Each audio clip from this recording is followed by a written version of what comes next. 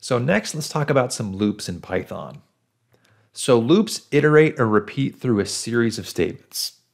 Okay, it repeats either a specific number of times or until a condition is met. Okay, there's two possible scenarios. And so we talk about two different types of loops. There's a for loop that iterates for each item in a list, tuple, dictionary, or something like that. And the while loop iterates while a condition is met. And if that condition is not met, the loop is going to stop. Okay, so here's another example of a for loop. This is just silly, but uh, loop for each fruit, right? For every fruit in this list, if it's a list, repeat this process, repeat those statements for each fruit. Or with the while scenario, you can say while x is less than 5, and so maybe you're counting here, and you start at 2, you count up to 3, and then to 4, and then you stop before x gets to 5. Okay, so in that scenario, you're stopping or you're going while it's less than 5. And if it reaches 5, you're going to stop at that point. So we have for loops and while loops. So let's go look at some of these in Python. So if you want to follow along with this code and run it on your own, a link will be on the page. So remember, we've got two types of loops, a for loop and a while loop. A for loop iterates over a sequence like a list or a dictionary, and a while loop iterates while a Boolean condition is met. Okay, so let's start with for loops. Let's use this example. Let's say we want to loop for each string in a list. Okay, and we're going to use companies in this case. So maybe we've got a list, suppliers list, three companies inside of it. And for each of those suppliers, we just want to print their name. And so what we're saying is for X in suppliers. So in this case, X is used to designate an individual item. And you could use something else. You could use I, you could use supplier like um, the singular form of it. It doesn't mean it has to be X. It's just the example we're using here. But I'm going to run this, and what it should do is print each name of the company. So I control enter, and yeah, there we go. I see company A, B, and C. It's printed each of those, and it stopped once it got to the end of the list. Let's try something else here, still in the for loop. We are going to loop for each number in a range. So we can use range to generate a range. And for each item in that range, just go ahead and print it. Okay, let's see what this gives us. So it's going to start at zero and go to five. There's six numbers in that range. There's zero included. And it's printing each of them. Okay, zero, one, two, three, four, five. Okay. Now let's try this a little bit differently. Let's loop for each number in a range where we increment by two.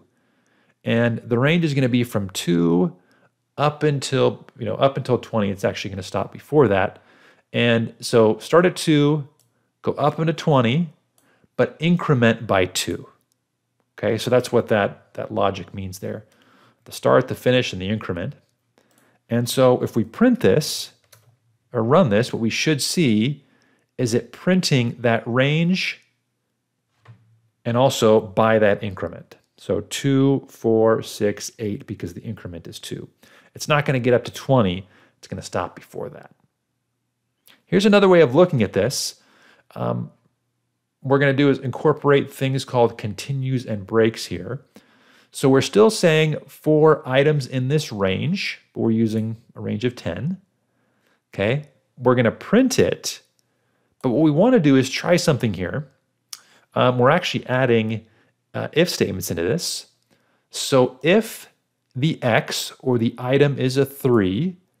What we're going to do is continue, which means just go immediately to the next item in the range.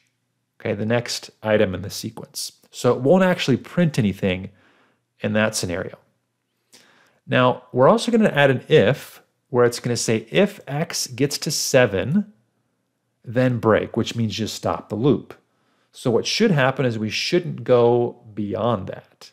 Let's just see how that works. And actually, it shouldn't even print 7 because we're going to break before the print occurs uh, within the sequence here. So I'm going to try to run this, and I see I get 0 is where it's going to start. It's going to go to 1, 2, and then when x is 3, it's not going to print it because it just skipped to the next iteration. And then it goes to 4, 5, and 6. But when it gets to seven, before it prints it, it's going to break and stop the loop. Again, that's why you don't see seven, eight, nine, right? So continues or, and breaks are something that we can build into these loops. Okay, let's also try this. Let's do one more for loop here. So we're going to loop for each number in a range and include an else. So in for loops, just like in if statements, you could include else's. So for items in this range, range of five, print it. And then when you essentially, when you get through the items, what you're going to do is print no more items and it'll stop after that point. Okay, so let's try to run this and I see it's going to print, you know, it's going to loop through that range. And then when it finishes with that, it's going to go to the else statement and complete and just print out no more items, essentially. Okay, so you can have else statements in these for loops. Now let's talk about loop while. With loop while, what we're going to do is loop while a condition is true. Okay, so what we're going to say here is we're actually just going to create this, uh, this counter as a kind of example. And what we're going to say is our count is going to start at 1. And then we're going to say while the count is less than 6. So while that condition is met, perform this loop. Okay, so we're going to print the count. And then after we print it, we're essentially going to just take the count, add 1 to it, and overwrite that variable. Okay, so it's going to start at 1 and then when after it gets through the first loop, it's going to be at 2, and so on. Now, another way to write this in Python, I have just uh, commented it out, but is to say count plus equals 1. It's just kind of a shorter way of writing this uh, line right above it here. Okay, so let's go ahead and run this and see what this looks like. Okay, so what's going to happen is the first iteration, it's going to be 1 because that's where the counter started.